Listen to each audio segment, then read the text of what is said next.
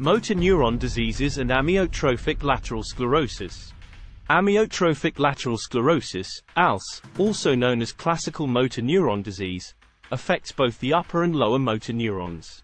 It causes rapid loss of muscle control and eventual paralysis.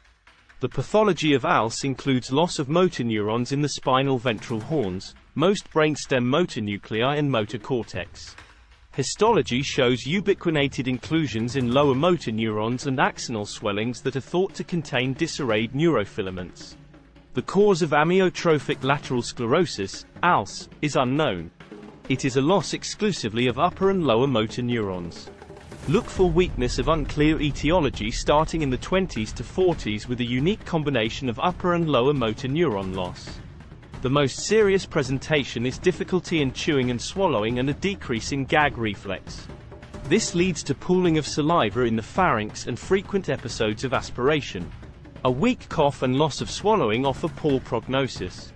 In ALS, there is no sensory loss and the sphincters are spared. Presentation of amyotrophic lateral sclerosis, upper motor neurons weakness, spasticity, hyperreflexia and extensor plantar responses lower motor neurons weakness, wasting and fasciculations.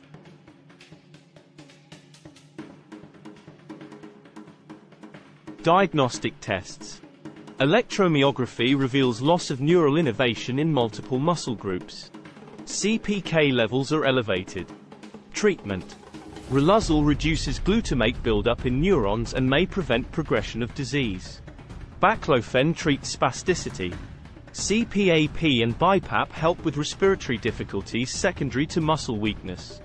Tracheostomy and maintenance on a ventilator are often necessary when the disease advances.